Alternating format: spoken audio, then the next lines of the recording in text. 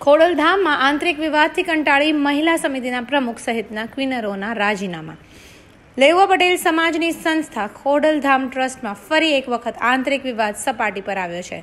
મહિલા સમિતિઓના કાર્યકર્તાઓએ ટ્રસ્ટના અમુક આગેવાનોના નિશાન પર આવ્યા હતા.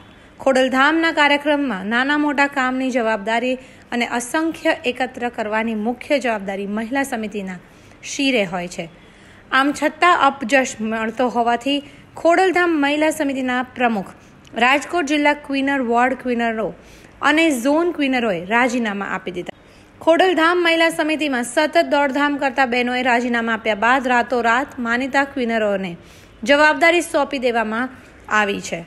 કોઈ મોટો વિવાદ ન થાય તે માટે હાલ રાજકોટમાં વોર્ડ વાઇઝ અને ઝોનના ક્વિનરોની નવી ટીમ બનાવી દેવામાં આવી છે. જોકે આ ટીમમાં પણ ગણગણાટ છે. ખોડલધામ પ્રાણ પ્રતિષ્ઠા મહોત્સવને અદ્ભુતપૂર્વ સફળતા મળ્યાની સાથે પરેશ ગજેરાને પ્રમુખ તરીકેની જવાબદારી સોંપવામાં આવી હતી. ત્યારબાદ પરેશ ગજેરા અને નરેશ પટેલ વચ્ચે નાની મોટી વાતોને લઈને અનબણાવો વધ્યા અને પરેશ ગજેરાએ ખોડલધામમાંથી રાજીનામું આપ્યું. આ સમયે પણ મોટો હોબાળો અને સૂત્રોચ્ચાર થયા હતા.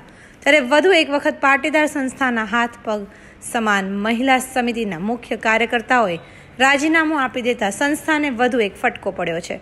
અન્ય જિલ્લામાંથી મહિલાઓ રાજીનામું આપે તેવી સંભાવના છે.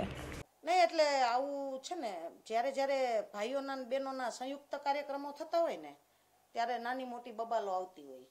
એટલે છેલ્લા બે ત્રણ વર્ષથી અમે એડજસ્ટ કરતા હતા, એડજસ્ટ કરતા હતા. અને મને એવું લાગે છે કે ક્યાંક પુરુષ પ્રધાન સમાજ વ્યવસ્થાની એમાં છાંટ હોય. મને એવું લાગતું હતું કે સ્ત્રી તરીકે અમે થોડા નબળા પડી છીએ. એટલે મેં કીધું અમે જે વર્ક કરતા હતા, અમારું વર્ક એટલા માટે કરતા હતા કે મહિલા સાચા અર્થમાં જાગૃત થાય, સશક્ત થાય સ્ટ્રોંગ બને, એના માટેની આ વાત હતી.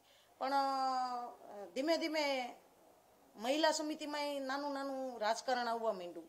એટલે દિલથી કામ કરવાની મજા નહોતી આવતી.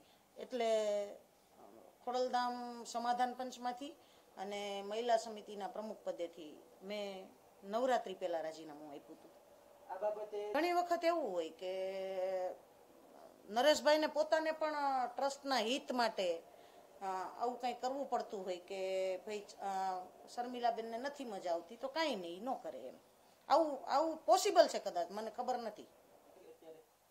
જો મેં તમને પહેલે કીધું કે મારી જે તાકાત કે મારી જે એફિશિયન્સી હતી ને એ હું મહિલા માટે વાપરવા માગતી હતી. અને મહિલા સમિતિ કાયમ સેપરેટ કામ કરતી હતી. ટ્રસ્ટ જે પણ કામ સોંપે એ મહિલા સમિતિ સેપરેટ કામ કરતી હતી. એટલે ટ્રસ્ટમાં જે કાંઈ ચાલતું હોય એમાં અમે ક્યારેય ઇન્ટરફિયર નથી કર્યું. પણ મહિલા સમિતિમાં રાજકારણ આવવા માંડ્યું ને, પછી મને કામ કરવાની મજા આવતી, બંધ થઈ ગઈ. એટલે